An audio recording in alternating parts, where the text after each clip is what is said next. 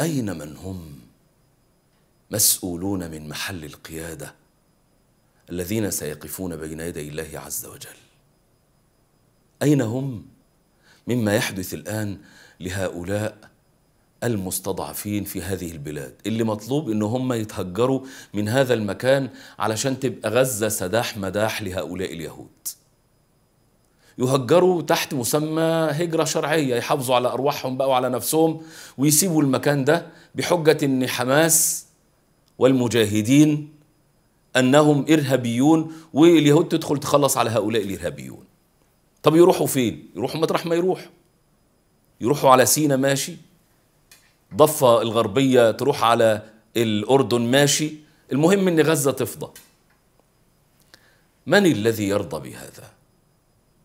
إن الدفاع عن الأوطان من الإيمان. إن الدفاع عن بيتي وأرضي من الإيمان. بل إن الدفاع عن العقيدة من الإيمان.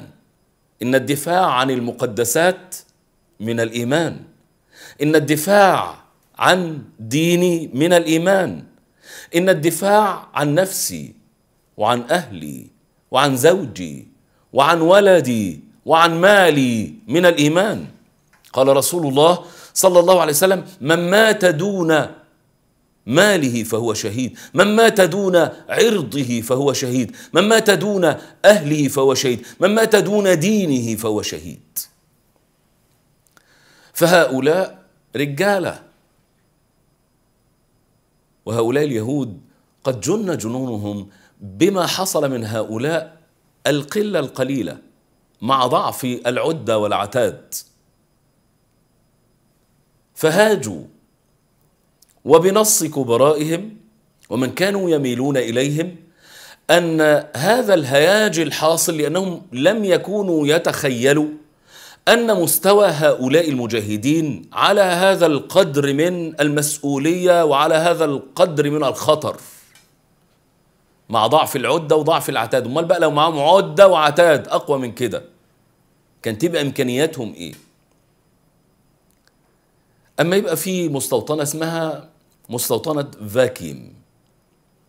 هذه المستوطنة فيها 25 ألف نسمة من اليهود. يقتحم هذه المستوطنة أربعة فقط من الجنود الفلسطينيين. أربعة بس. هم يكتمون على هذه الأخبار. ليه؟ حتى لا يدب الرعب أكثر في قلوب اليهود على مستوى الدنيا. وخصوصا اللي موجودين بقى في فلسطين. أربعة بس. ما بقوش عارفين يتعاملوا مع الأربعة. أربعة اخترقوا كل الحواجز الأمنية اللي عاملاها إسرائيل. ثم بدأ الناس في الفرار. ليه؟ لأن جنود الجيش الإسرائيلي مش قادرين إن هم يهاجموا هؤلاء الأربعة ويسيطروا عليهم. كانت المفاجأة أنهم ولوا الأدبار. خرجوا من أماكنهم. دب في قلوبهم الرعب. فهذه الأمة يا جماعة منصورة من قديم الأزل بالرعب. قال الله عز وجل في القرآن سنلقي في قلوب الذين كفروا الرعب. فاضربوا فوق الأعناق واضربوا منهم كل بنان. كيف ننصر غزة بالوعي قلنا بالتوحيد إعلان التوحيد. وإعلان الوحدة. ننصر غزة بنشر الوعي. نشر الوعي أن هؤلاء أصحاب حق أن هؤلاء معتدى عليهم مش معتدون. أن هؤلاء اغتصب حقهم أن هؤلاء هذه أرضهم أن هؤلاء هم أولى بهذه الأرض منهم أن هؤلاء مظلومين ما هماش ظلمة. نشر الوعي ثقافة الوعي. وأيضا ننصر هؤلاء بالدعاء. وما عجزنا فيه بالعطاء لا نعجز عنه بالدعاء. ولا نقلل من شأن الدعاء ونقول هنقعد نقول كل مرة الدعاء الدعاء الدعاء الدعاء. أيوة كل مرة الدعاء الدعاء. وممكن تكون كل مرة على فكرة بتتحل بالدعاء. ده أنا في قناة الرحمة بس تقريبا عامل ست حلقات قبل كده كيف ننصر غزة؟ كل مرة غزة تنضرب نتكلم عن غزة. ففي تاريخي في ال 10 12 سنة اللي فاتوا دول عامل ست سبع حلقات عن غزة. ده لوحدي غير الحلقات الحوارية اللي كانت مع مذيعي القناة. يبقى كل شويتين ضرب في غزة. فلا تقلل من شأن الدعاء لأن ممكن يكون الإلحاح على الله عز وجل بالدعاء ده من أقوى أسباب النصر.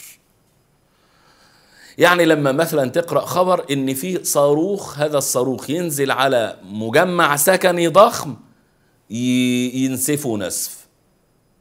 هذا الصاروخ ينزل على هذا المجمع على ظهر هذا المجمع ولا ينفجر. قل لي أنت بقى لماذا لم ينفجر؟ لأن الله تعالى أمره أنه ما ينفجرش. لأن الدعاء له تأثير وتأثير كبير جدا جدا جدا. يعني السلاح ممكن يستعمل ولكن السلاح بحده وضاربه وبقوته. السلاح يستعمل والسلاح ما فيش فيه قوة. يعني لا تخرق قوته. بأمر الله عز وجل فربنا فعل لما يريد سبحانه وتعالى. وينبغي أن ندعو دعاء المضطر حتى يستجاب لنا.